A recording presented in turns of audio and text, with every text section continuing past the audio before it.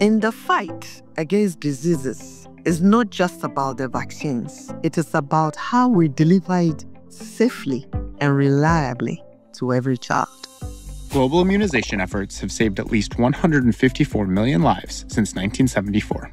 Gavi the Vaccine Alliance to ensure that countries, especially in the developing world, have access to safe vaccines. Before 2000, most countries used either reusable glass syringes or plastic disposable syringes. When HIV came up, people really got concerned that these syringes could be reused. We had a reduction in terms of mothers accessing vaccination services. They would rather bring a new syringe or they will not come at all. To combat disease transmission, auto disable syringes lock permanently after a single use. In 2000, Gavi began funding the procurement of AD syringes, which made them less expensive and more accessible. Since this transition, more than 1 million infections are avoided globally each year. How do we get syringes to the people who need them most? Previously, 80% of AD syringes were shipped from Asia to Africa, which could take months to transport. We now have two manufacturers on the African continent, but we need to do more.